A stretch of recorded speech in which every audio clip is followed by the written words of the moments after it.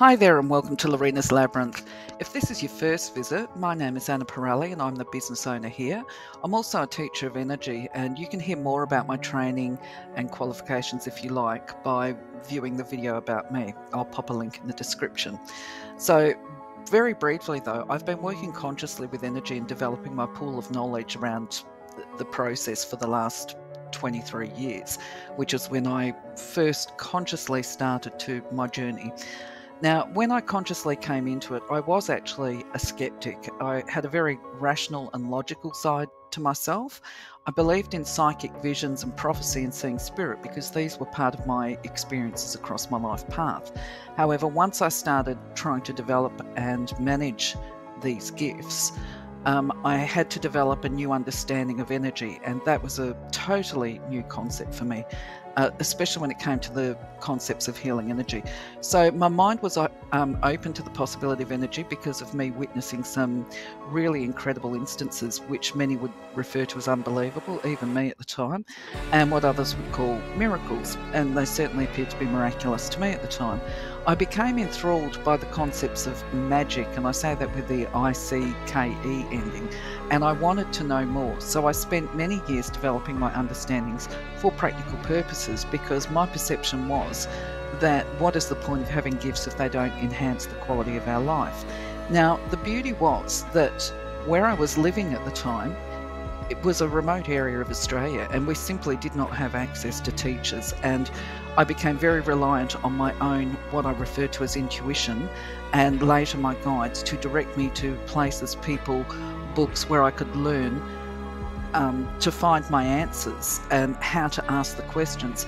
Now, one of my understandings that I've learned over the years is that the spirit world is not a case of one size fits all. Because we're all different, and this includes the way we ask our questions and the way we receive our answers. Our journey is individual, and I just keep reiterating that all the way through. So, my information that I present may or may not resonate with you, and that is perfectly fine.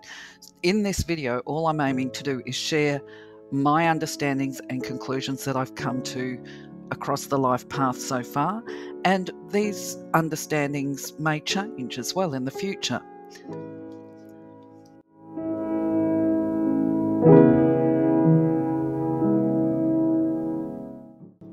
So, as I said before, I started this journey very skeptical around energy, and in fact, thinking a lot of people off with the fairies when they were having conversations about it. So, when we think about skeptics, we're talking about people that need to have um, a logical and a rational understanding of everything, basically. Um, and we have to look at, in this process, we have to look at, well, what is a fact? What what is scientific? What's a scientific truth, you know.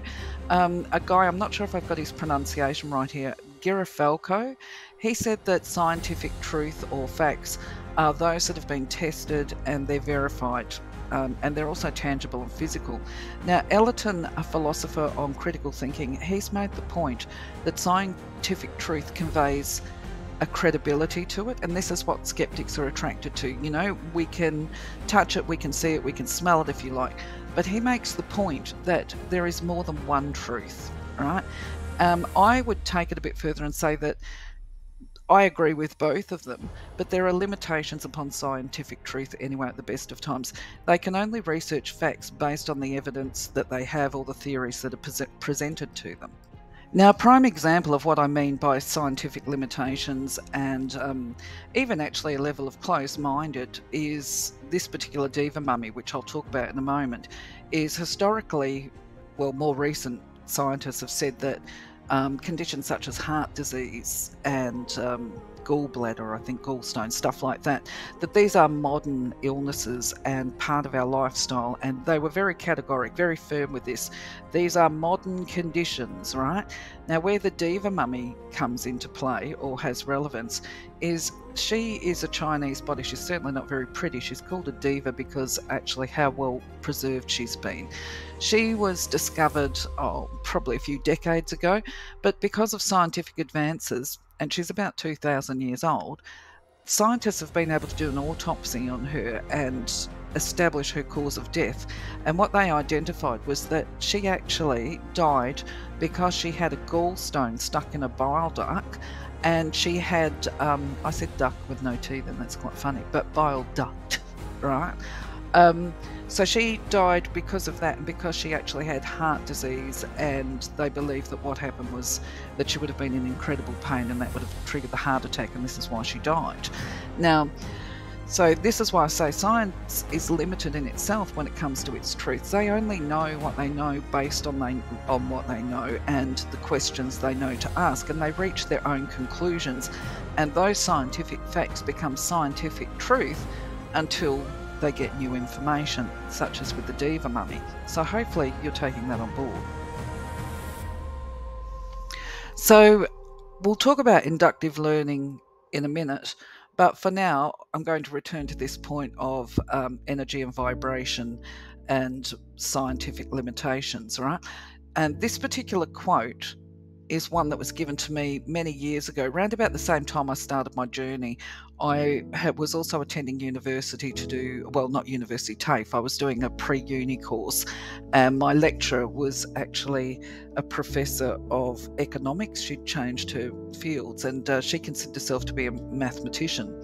Um, she was also new to Australia, and she told us that her comfort levels lay with maths and not necessarily humanities, which was what I was looking to study, um, because she understood scientific facts better than she did people. And I truly love a person that knows their own limitations. Anyway, during one of our classroom conversations, she made the comment that I've put on the slide here, and it stuck with me. Scientific truth is variable and based on the facts that are available at any given time. What is true today can be proved or disproved tomorrow, right? And our little diva mummy demonstrates just how accurate her comment was. And there are other limitations as well, such as if they do decide to research any particular given topic, who's going to fund it? Um, is there a bias and a prejudice in those people that are capturing the information?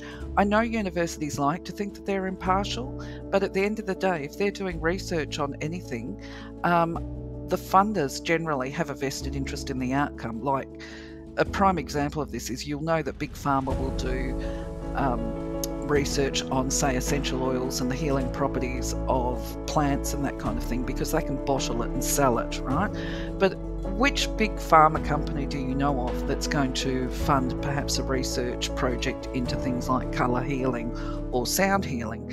Um, you know, so this is going to restrict how much of the so called scientific fact based evidence we can have or scientific truths. I'm going to continue to refer to Ellerton's um, descriptions of the types of truth that are available because he covers a lot of them. Um, and so, what he's this is a copy and paste that I've put on the slide of how he explains subjective truth. But in essence, it's about our personal and lived experience of the world and the feelings that we associate with those experiences. They're not necessarily shared with other people, they're simply our truth, our personal truth, and they're based on our sensory experience of what things feel, look like, etc. You know, and this can go some way to us um, you know, even the way we describe things, like we know that if we turn around and say to somebody, oh, the grass is green, the colour green is going to look completely different in Ireland, um, as in the land of the Irish, than it's going to look if we look at grass here in Australia. Our um, our green grass is very pale, shall we say, whereas if you go over to Ireland, it's actually very green and almost emerald green in some spots. So these become subjective truths, and in fact, actually, the, they're the points that people can argue about. So Ellerton also describes uh, deductive truths as here. They um, they have a certain logic and rationale to them, but they're not necessarily true. Right? They can actually be quite assumptive. So, for instance, where he uses the concept of the imaginary green gronk and reaches a fairly accurate conclusion based on this, if it is true that all gronks are green, um, but what if we was to say, uh, I'm really digging deep here to find an example with a false conclusion. Actually, I'll refer to a personal experience of a flawed deduction that has little relevant, um, relevance here, but what the heck. Okay, so deductive truth that's flawed. My ancestry does not include Europe or Scandinavia. When I look at my family tree, none of it there. Now, to my knowledge, I had concluded, based on a deductive truth, that I was primarily Irish with a little bit of Scottish and a little bit of smidgen in my ancestry. And my family has been living in Australia for multiple generations. And um, within the Australian context, we can see who married who, and it certainly looked that way. So I concluded that I was almost pure Irish. I actually am. I've had my DNA done, and I'm actually 70 70% Irish, I think. Um, but anyway, I found it very difficult. The whole, well, I'd never even considered it, is more the point, that I might have Scandinavian in my blood. Now, in fact, I don't, right? When I've done my ancestry, I do not have any Scandinavian in my blood. And yet, a few years back, my granddaughter was born with a genetic condition. Genetic meaning that it's inherited um, and it has to apparently come from both sides of the family that includes me. Apparently, I'm a carrier of this condition. It's called PKU, by the way. Um, you can do your research on that. But anyway, apparently it started in Scandinavia and only Scandinavians have it. I may not be correct in all of this. But anyway, looking at my DNA, I don't even have Scandinavian showing there. So, you know, we would assume that actually the doctors have got all their research wrong. But where it gets bizarre is that my son had his DNA done, and it shows that he's got um, a percentage of Scandinavian blood in him. And you think, oh, well, he must have got it from his father because he can't have got it from me. But in the DNA breakdown, it actually shows that he inherited 3% of his Scandinavian from me. I do carry it. Had no idea. So then I became very interested in researching my family tree based on so now we're moving from a false or flawed deductive truth through to getting scientific research what I had established is that parts of um, Ireland and Scotland, where my family came from historically, had been subjected to Viking invasions. So I would say deductive truth is not always reliable either, just stating my opinion there. So hopefully I convey this one well, all right? Ellerton talks about inductive truth and he explains that it's a case of analogy and it's very generalized and it's based on a person's experience where they reach justifiable conclusions. But there's no empirical, that means there is no scientific research or scientific truth established to support that person's truth, right, or their belief. Um, so when we talk about energy workers, we're talking about people that are actually reliant on inductive truth. Um, because remember, when we talk about science and scientific truth, that means they've done the research, the numbers of the people. You know, we uh, spoke with 500 people, we asked them these questions, and 400 out of 500 say that this was true for them. So they can reach a conclusion through um, the mathematical basis, which is very important to scientific research but um, an inductive truth or a person's personal truth tends to be our philosophies and our beliefs. And as I said, this is generally associated with spiritual or religion, um, where there's been very little testing done to uphold these um, on, on a wider level. You can speak to many of us out here, and we may have shared experience and shared beliefs, but there's no scientific substance to it. So I reiterate this. Um, generally, the way we test something as individuals is does it feel right to me? Does it resonate with me? Does it feel right in my heart? Because there is actually no other means of testing a lot of the stuff that we're looking at. So I will make a reference, however, to a spiritual practice that I believe should be considered and this is the information that has been provided to me by other credible philosophers, if you like. And an example of this, in my experience, can be the use of tarot cards, right? Because obviously I provide services using tarot, and they are my communication tool. Now, what I mean by this is for each of my tarot cards, I have a meaning that is attached to them because it feels right.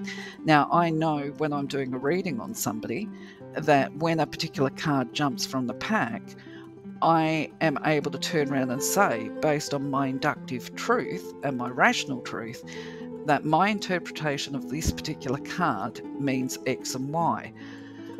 Um, and generally, when they jump out the pack, I am 99% right with the way I interpret these cards. Now, I'm just going to clarify this because that makes it sound like I'm saying that I am a 100% brilliant psychic um, delivering accurate readings. Nobody is, okay? What I'm making the point of is that my understanding of the cards is very accurate for me. I do have a way of interpreting them, right?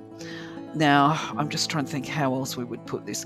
When we're talking about delivering a psychic reading, it's the cards are more than a tool. Uh, there's more to a psychic reading than looking at your cards and interpreting them. There is the questions that lie behind the reasons for pulling the cards, and it's how you interpret the meaning of it. So, basically, um, the way that I'm describing it within uh, when I say that I'm 99% accurate for this, right, is that I can use them to validate a connection because when these cards come out, I can say to a person, um, it appears to me X and Y has been happening in your life because this is what this card usually tells me when it jumps out. Every now and again, I might uh, not be quite on the mark, but a prime example of this is I've got one particular card and I can say the card refers to somebody who is either 14 years old Sometimes I can pick that it's a female, um, but I get the feeling that this person is much younger, but they've got the attitude, right? This becomes the validation, and somebody, the person that I'm reading with, will turn around and say to me, Oh my God, I was just saying to somebody yesterday, my five year old is like a 15 year old and she's got an attitude to match. So they can relate to what it is I'm saying.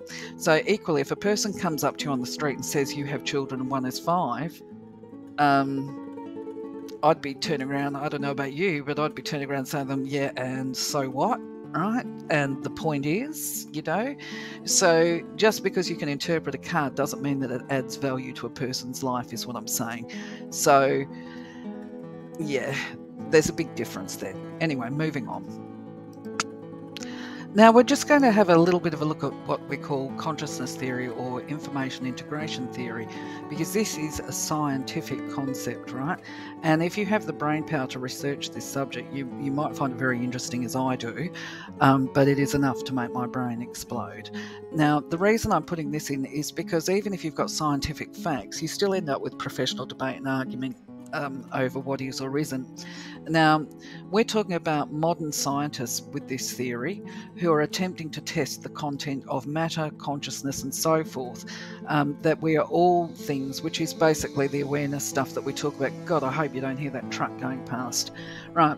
The point I'm trying to make is that we are about universal knowledge and wisdom. It's not visible to the naked eye, and scientists, interestingly, can accept concepts such as blood cells, the um, neural pathways, neurons, and so forth, um, because they can test these, right? So they can feel very comfortable with this, but they will struggle to accept anything that literally can't be put into a box. So, from what I can tell, historically, scientists of the past were actually men and women of faith, and their desire for problem sol- solving wasn't mutually separate from their faith. In fact, many of these great achievers, scientific achievers, were divinely inspired and they had a deep faith. Pythagoras certainly did. Um, what we see in modernity is that those people that want to test ancient ideas such as consciousness and theory are often pilloried by their colleagues despite having received mainstream respect in their professional community for their other grand achievements. And I find that very interesting. It's like if you want to test anything associated with humanity and brotherhood, care, divinity, and all the rest of it, it seems to put you on the outside. And to me, that's not open minded. I believe that actually goes against the scientific nature of questioning. But moving on again. So, in some circles, the studies of consciousness are referred to as pseudoscience and linked in derogatory ways. Um, alternative healing is often referred to as pop psychology either. So neither of these terms by mainstream scientists instead of ways are, are said in ways that are supportive. And this is despite the fact that many scientists and qualified clinicians will draw upon what we call spiritual strategy as part of supporting health and well-being. And I personally find the negative comments to be both surprising and disappointing because in my understanding of scientists as a definition of their professional approach is one that should be of an open mind and allow the evidence to support the questions or to disprove it and that it would be unscientific to have formed an opinion about the credibility of a topic before the research has been conducted. Um, least of all, because quite often it can be many years or decades or even centuries before some of these ideas are validated by maths. So, no one, for instance, in the modern time frame is going to question Tesla's contributions to humanity. Um, but it was not that long ago that he was considered a bit of a weirdo and insane, even. Einstein was also considered a bit of a fruitcake by many. Um, and then there's the matter of Darwinism, where not all of his theories are supported with evidence either. So it seems that the modern scientist cherry picks from the ideas of um, of the great thinkers, if you like. They cherry pick, but they don't research all the content, but they can condemn a content or an idea simply without the research. That to me is unscientific. So, speaking of science, let's talk about Pythagoras, who lived about 525 BC. And he was primarily reliant on the brilliance of his own mind and his colleagues or peers at the time. So, just to state the obvious, there are actually no true images of Pythagoras, and as far as we know, he didn't leave any records of books, or, or, books, of course, right? Most of the theories he brought to the world have been proven to be true in the fields of maths, music, and astrology as prime examples. Not all, of course, and certainly not the theories of consciousness or vibrational healing. I do understand, however, that in India in the early 1900s there was some research being conducted into the healing properties of colour called chromotherapy, but the research was not concluded. It was cancelled mid project or something. Perhaps they ran out of funding. We all know from a subjective or inductive process that music, sound, and colours impact on our mood in positive or negative ways, but there is no scientific truth or maths um, as to why this might occur. So it still remains a theory. However, at the same time, Pythagoras made these links during his lifetime as well. Um, but I'm not sure about the mathematical substance to it. But he certainly had an open mind. So now let's explore, or I will explain, my own subjective and deductive reasoning as a skeptic and trying to be open minded and not allow the biases that I'd been taught throughout my own early education to warp my processing around understanding energy.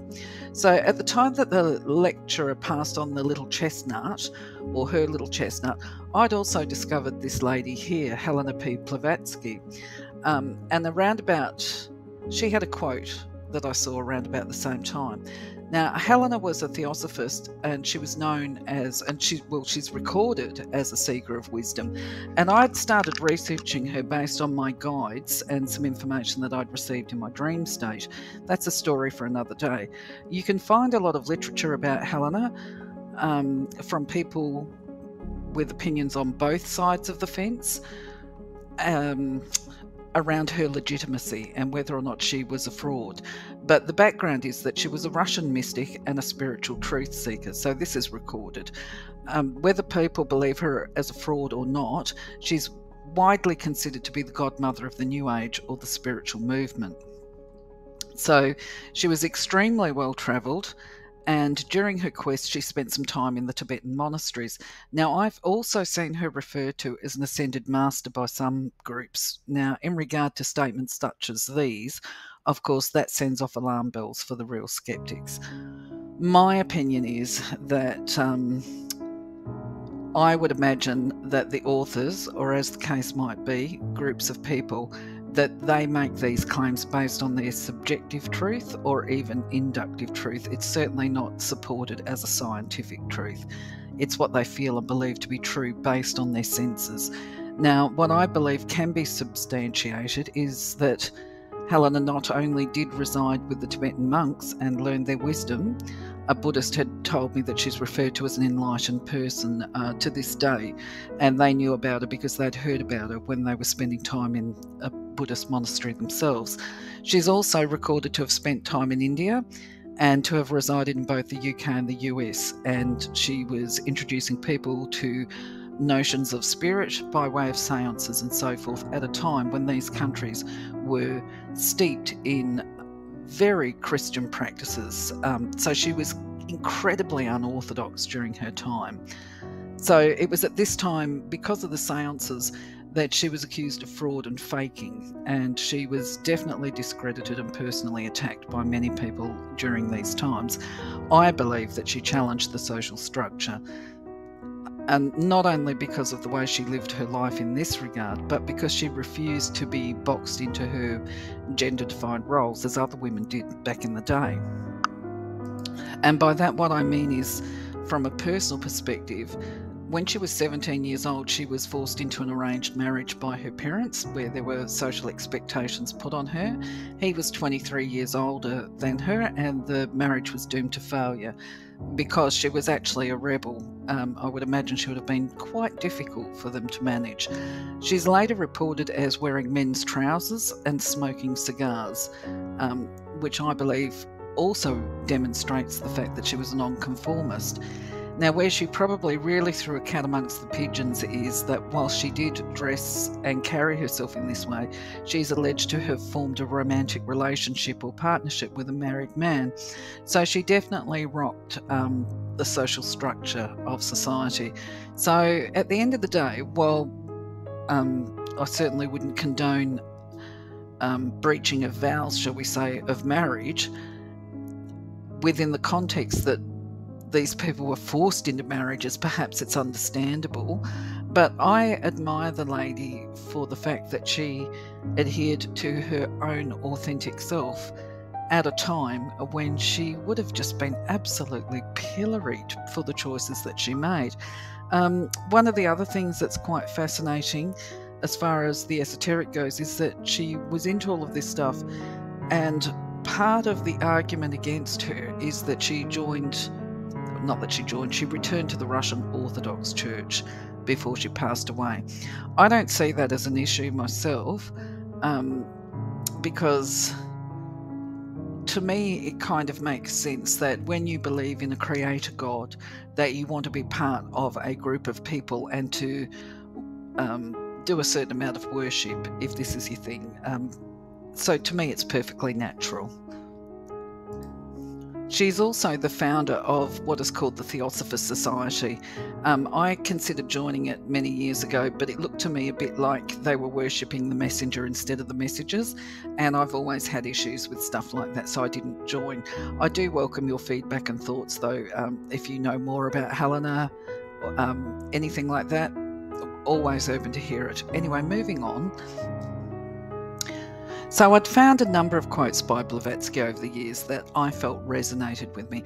Unfortunately, right now, though, um, as I do this audio, I actually can't find where I initially sourced her quotes or this quote that I've got on the screen, but it's one that stayed with me anyway. Knowledge is wisdom, and wisdom that is not used for the greater good is wisdom that's wasted. Um, it's something like that and I, I really am not sure where I found it. But another saying that I remember um, seeing somewhere was that truth is knowledge. So this leads to something else. So I was able to string together my own personal motto around truth, if we like. Um, so truth, as in facts, is variable based on what we know to be true at any given time. All right, because the pool of information that we're looking at can change with new information. Knowledge is wisdom, and wisdom that is not used for the greater good is wisdom wasted. Now, this is because, going back to it, scientific truth is not categoric. It's also arguable amongst scientists with differing opinions, and truth and knowledge are subjective and inductive, and they, these can both be reliable sources of information gathering even if there's no maths applied to it. So, in answer to the questions of what and how does energy work, here are my conclusions based on my truth, my understandings, my knowledge, and my understandings around energy may change at some point in the future as new information comes to me. And this might be the same for you. So, the way that I understand energy and vibration actually came to me through an incident or an event that happened in my life, and it inspired um, me to formulate an opinion, if you like. So, I'll l- explain it to you. Um, it was a difficult time for me. Um, I was receiving some difficult questions from my children. And what had happened was I was a single mum at the time. I was finding it difficult to get babysitters. And on these days when I couldn't get a babysitter, I would take my children to work with me. Now, this obviously was against my workplace rules. I'm not going to go too far into this because, of course, um, I have people's identities to protect with this. Um, so, anyway, my job was to go to a public space for an hour at the most at different times of the week. And on these days, as I said, I would take the children with me and I would position them where I could see them and where I could do my job at the same time. However, on the particular day in, that I'm referring to, a man collapsed and to some extent, I taught my children with hand signals, you know, stay where you are, I'll be back soon, stuff like that. So, anyway, a man collapses at work, bangs his head on on the ground during the fall, small amount of blood on his forehead. His wife is hysterical because she knew that he was dying. Um, and everything was in total panic mode. There was members of the public everywhere, all screaming at me to do something because obviously I was an employee. I certainly had no training in first aid at this point in time. I put my hands on him. I had done, by the way, my Reiki attunements at this stage, but I didn't know how to do CPR. I did later learn, just to put this into perspective, that even if I'd known CPR, uh, he wouldn't have survived. Right? It was definitely his time to go. So in the process of being screamed at that I needed to do something, uh, his wife couldn't hold him, all of that stuff. Um, one of the members of the public was saying, Do something, do something, hold him. The lady was too hysterical to even touch him. This was his wife. So, what I ended up doing was I semi lay down beside the man on the ground and I was holding him while he died because that was all I needed uh, all I knew to do within this situation. And if you like it was kind of a praying for ease of transition. Um, and while this was going on of course as a mother I had my concerns for my children who were out of my sight who I couldn't see at that particular time and I had to put my faith in the universe to protect them and keep them safe at the same time, it was all very intense. The wife continued to be screaming hysterically. And now I understand this. I'm not judging her for this. I want to be clear about this. Um, I would imagine it was horrendous for her. Um, it went on for about 10 minutes. The ambulance was very late. And then all of a sudden, you could hear a little voice calling out from my 10 year old son saying, Mom, what are you doing? Right? This little voice broke through the screaming and the hysteria. Now, there was a real crowd gathered around with many people watching and distressed. So, of course, my immediate thoughts were, oh my God, it's my son, mother duties. I can't say anything. I can't call out to him. I've got people watching me. People are saying, Who is that child? Where does that child? Where's that child's mother? Right? And I'm thinking, if they find out that I've brought my children to work, I'll lose my job. So initially, I didn't respond. And, you know, there was all these hushed whispers. And then my son's voice became more insistent Mom. Um, so I had no choice but to call out to my son, saying, It's okay, mate, right, Australian. Just go back around the side and I'll be there in a little while. Just wait until I come for you. He was with his sisters who were standing out of sight, so I, it was okay. Then all you could hear was the voices of, Oh my God, it's hers, it's her child. Now, where I'm going with this is I actually feel goosey just talking about this, right? It was a truly incredible experience anyway. But I will say that something really miraculous happened at that time. Before my son had come out and we could hear his voice, I could feel the man's spirit was struggling to stay with his body. Now, it's very difficult to explain this to people who haven't experienced death at close quarters, shall we say. But um, those people that have experienced dying may have had this experience as well because I understand that it's not that uncommon. But as I say, I could feel that his voice was, or that his spirit was struggling to remain with his body. Now, what happened after this was that I actually found, felt the snap, right? Now we're going to go into what we learned. So, as I said before, the man that was dying was an elderly man and his wife was an elderly lady. Now, clearly, they were grandparents. Now, what was truly amazing to me was once my son had poked his head around and called out, this woman was incredible. She went straight in a snap moment herself from being hysterical, um, calling to the man not to die and not to leave her, to having her mouth on the ground because I could basically see her in one eye and um, turn my head very slightly and see my son. And uh, anyway, what I watched her do was in a moment, in a second, she went from being a hysterical woman to standing upright, sucking the hysteria back into herself, regaining her composure so that she could be calm in front of the child. It was truly amazing. And uh, to me, I think this is the power of motherhood, what women and mothers are capable of doing for the sake of their children. She was in her moment of grief, and suddenly she brought it together because there was a child and she didn't want the child to witness the suffering. Now, what I also find fantastic about the universe is if we think everything is divinely um, connected and that kind of stuff in this time frame. When my son has put his head around and called out, what he did was he provided a, dista- a distraction. As I said, I felt the snap um, where I knew once I returned my attention to the man on the ground that his spirit had left his body. The lady was actually um, calmer and I felt that he, anyway he was there. The ambulance arrived anyway, and I was able to get my children. So this is where I came to my own um, understanding of what energy and vibration is about. So after the ambulance has arrived and I've re- you know gathered my children up and we're getting ready to go home my son shared with me that he felt very sad for the man because he had died and my even though I hadn't told my son that he had died, my son said that he felt that he had died. Now, my first reactions, of course, as a mother, were guilt that I'd just exposed my children to this by taking them to work with me, and then I had a divine inspiration because I also felt, well, I can't lie because your knee-jerk reaction is to protect your children. Say, oh no, no, no, no, no, darling, he didn't die, but he actually did. So we have to be honest with him.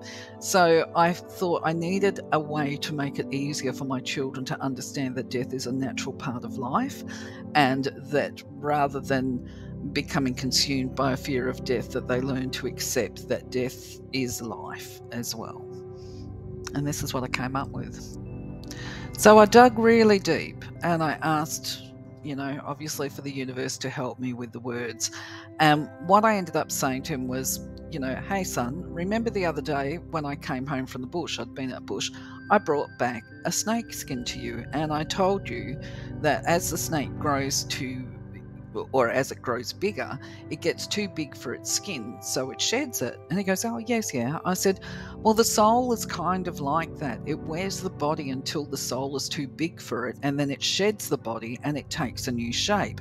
But the thing is, you can't see this particular shape like a physical body because the body is kind of like a rock. I love the kind ofs, you know, you just throw those in. But anyway, this is what I've said to him and more.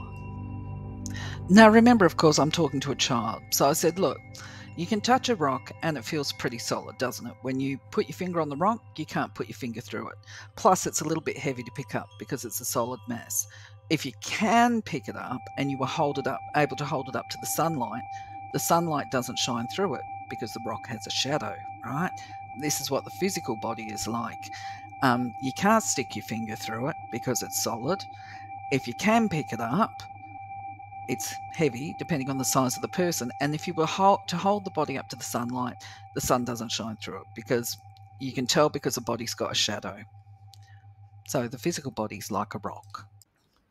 So the other thing is too that once the body is gone, the spirit remains.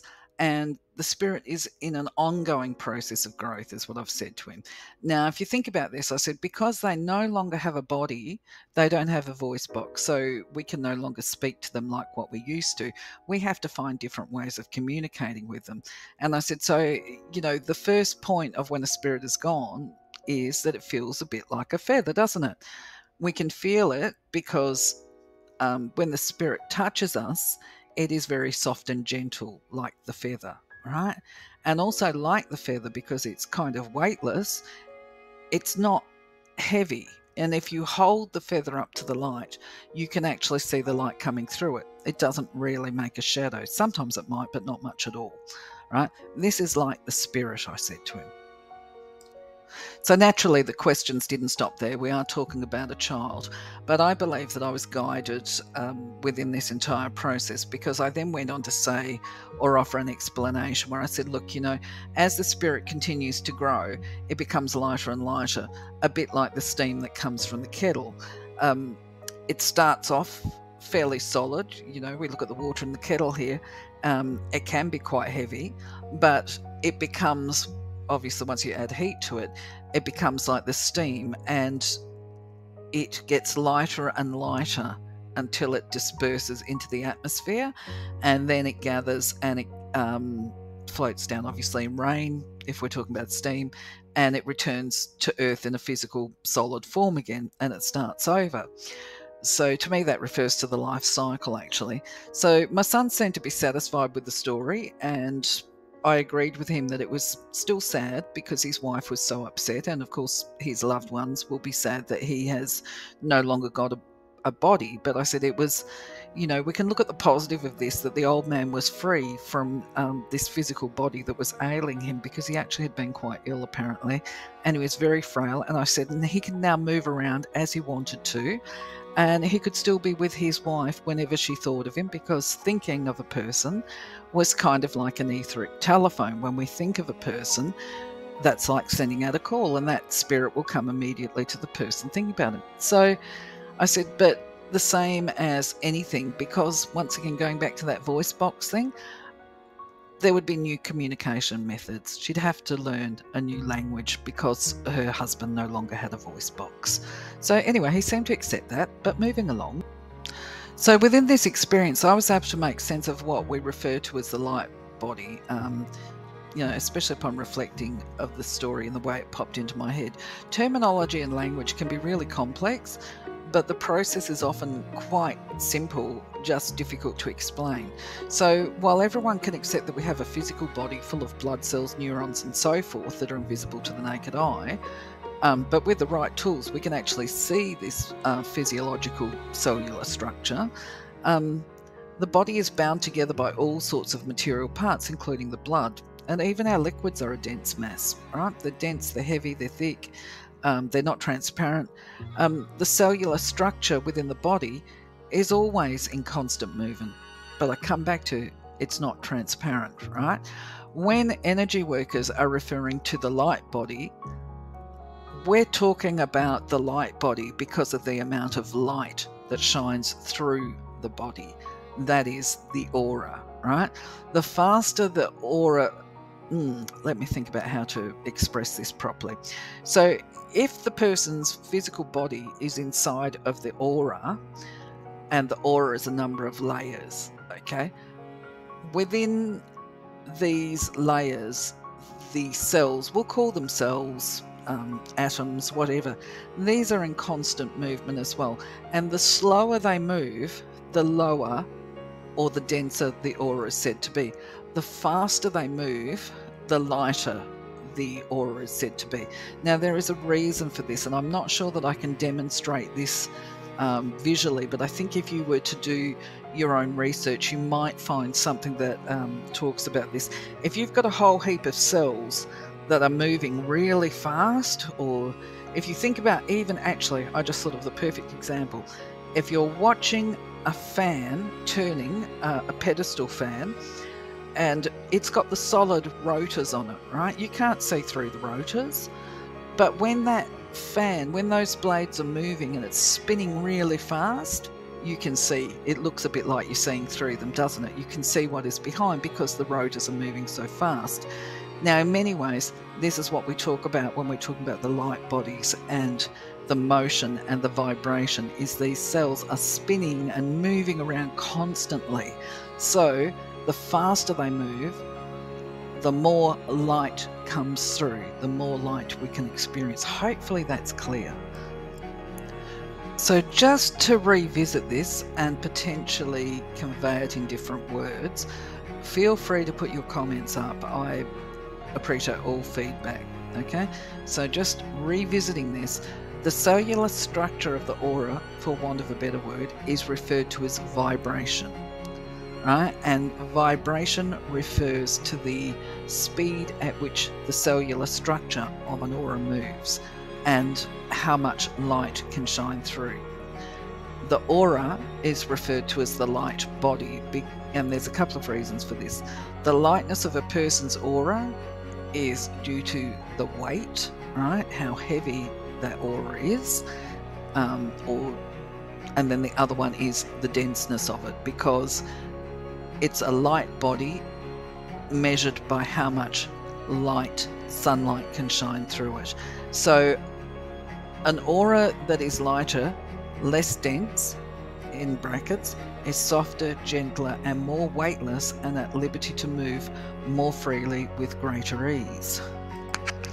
I truly hope that um, the information that I'm providing here is doing at least a semblance of justice to this amazing subject. But anyway, let's try and apply what I've been um, sharing with you here to the images, right?